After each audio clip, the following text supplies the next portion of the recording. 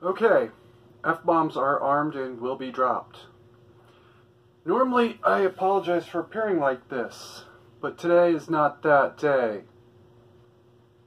Apparently, my last video was a little too salty for some people's taste. I may have spoken a little too fucking plainly. Get over it. If anything, your mother should be apologizing to me for giving birth to a pussy.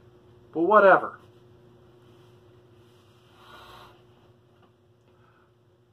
So here it goes. First they came for the Nazis. And I didn't speak up because I'm not a Nazi. Then they came for the conspiracy theorists. And I didn't speak up because I'm not a conspiracy theorist. Then they came for the libertarians. And I didn't speak up because I'm not a libertarian. Finally, when they came for the socialists, I couldn't speak up because they'd already come for me.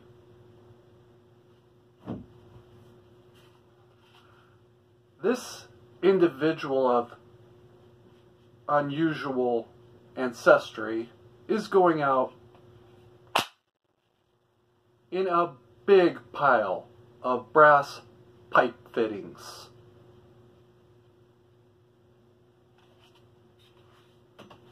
Try me if you think I'm joking.